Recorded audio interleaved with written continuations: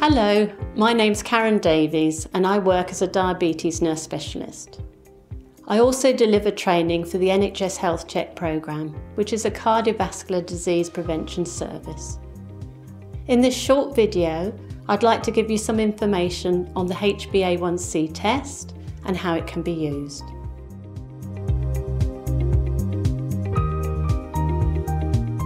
In health terms, HB stands for haemoglobin. Haemoglobin is a protein molecule on the red blood cell. We know that the lifespan of the red blood cell is approximately 120 days. We also know that glucose or sugar attaches itself to the red blood cell. So the higher the blood glucose level, the more glucose that attaches itself to the red blood cells. The hemoglobin alpha 1c therefore is a test that averages out the blood sugar level over the last two to three months.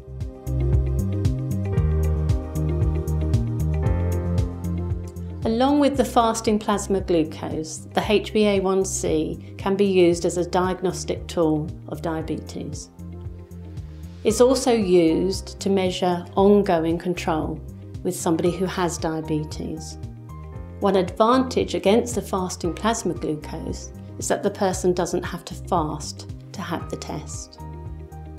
We also know from research trials there is an evidence base in terms of reducing the HbA1c and to improve outcomes.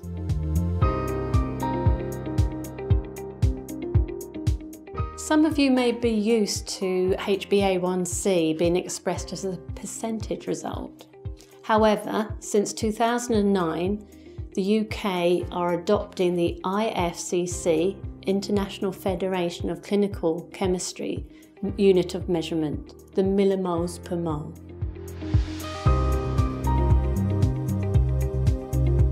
A normal HbA1c result is a reading below 41 millimoles per mole.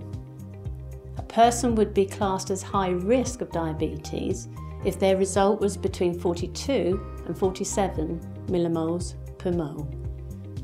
This is classed as pre-diabetes or non-diabetic hyperglycemia. Our current NICE guidance for adults with type 1 and type 2 diabetes advises that we target a HbA1c of 48 millimoles per mole.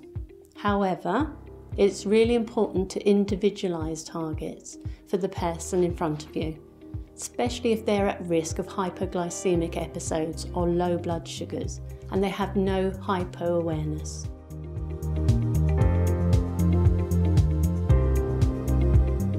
The HbA1c, if it's not in target range, might be tested three to six monthly.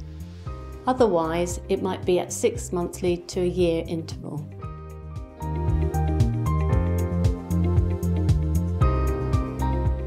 There have been two large-scale clinical trials, the DCCT and the UK PDS, that both have proven that by reducing your HbA1c, by 11 millimoles per mole, you can reduce the risk of microvascular complications by 25%.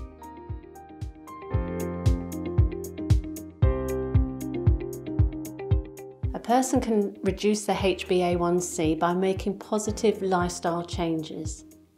These might be maintaining a healthy weight or increasing up physical activity. A high body weight or large waist measurement can increase your risk of developing type 2 diabetes. To maintain a healthy weight, refer to the Eat Well guide.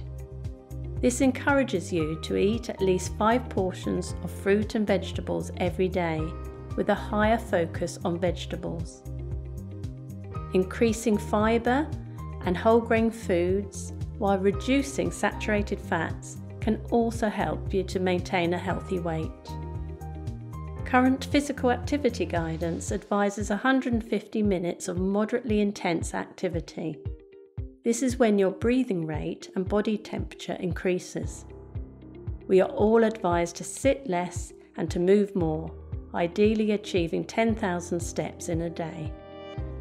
Any patient with results greater than 42 millimoles per mole should be referred onto their GP. For further information, visit diabetes.org.uk.